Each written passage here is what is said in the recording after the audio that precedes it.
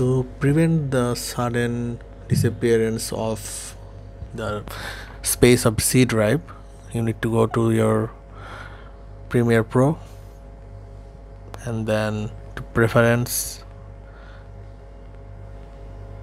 and media cache and delete the unused media cache file.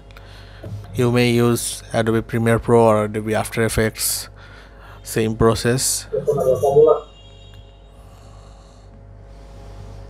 You need to just delete the unused file and then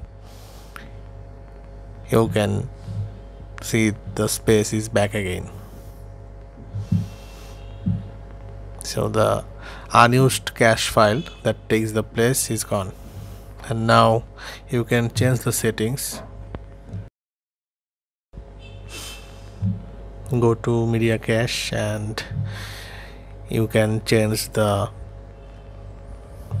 media cache file folder location to somewhere else.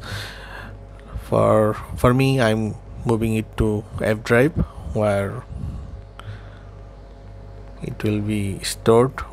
When we will use premiere pro next time.